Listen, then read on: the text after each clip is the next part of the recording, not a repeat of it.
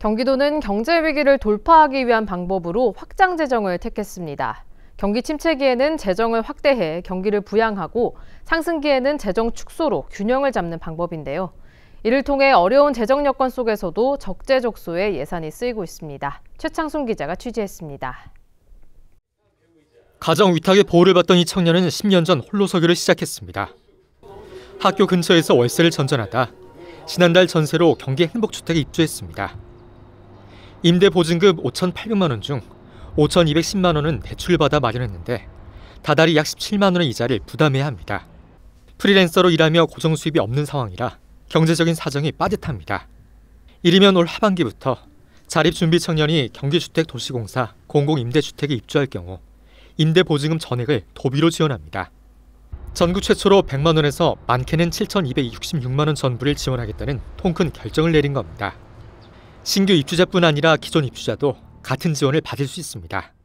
사실 스트레스 한계가 줄어드니까 그만큼 저는 다른 곳에 조금 더 열정이나 그런 시간적을 투자할 수 있으니까 저희들한테 숨통이 트인다고 해야 되나? 그렇게만 해주신다면 정말 너무 감사할 것 같아요. 중증 장애인이 10만 원을 저축하면 10만 원의 지원이 더해져 2년 동안 500만 원의 목돈 마련을 돕는 장애인 누림 통장의 대상이 더 확대됐습니다. 2022년 19세로 시작해 지난해에는 21세, 올해는 23세까지 늘렸습니다. 경력 단절 여성을 위한 취업 지원도 이어갑니다. 구직 활동을 돕기 위해 최대 120만 원의 지원금을 3,400명에게 지급할 계획입니다. 침체된 경기 탓에 직격탄을 맞고 있는 사회적 경제 기업을 위한 지원도 강화합니다.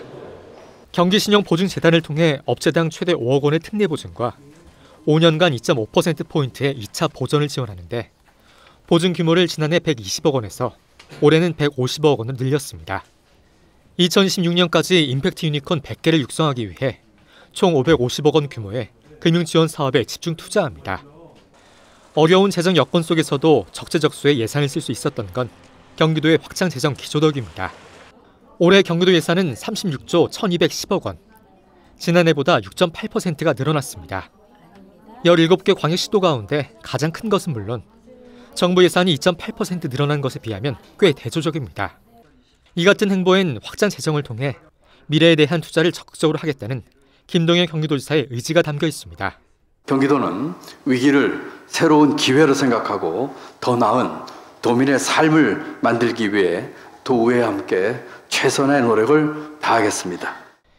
약 1조 원의 세수 감소가 예상되는 상황에서도 일반 회계 예산 규모가 30조 원을 넘은 건 경기도 역사상 처음입니다.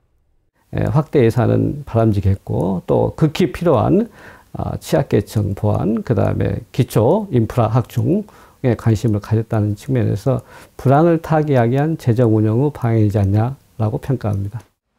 확장 재정을 통해 고물가, 고금리 지속 등 대내외적인 경제적 어려움을 극복하고 도민 누구나 기회를 누리는 기회수도 경기도를 향한 항해에 더욱 탄력을 받고 있습니다. GTV 뉴스 최창순입니다.